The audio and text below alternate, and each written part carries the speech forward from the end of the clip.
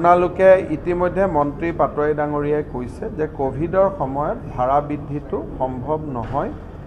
ভৱিষ্যতে আমি তেওঁলোকৰ লগত আলোচনা কৰিম কিন্তু এতিয়াও মই বাছ মালিক সন্থাকো ক'ম যে চাওক এতিয়া মানুহ ইমান দুৰ্দিনত আছে।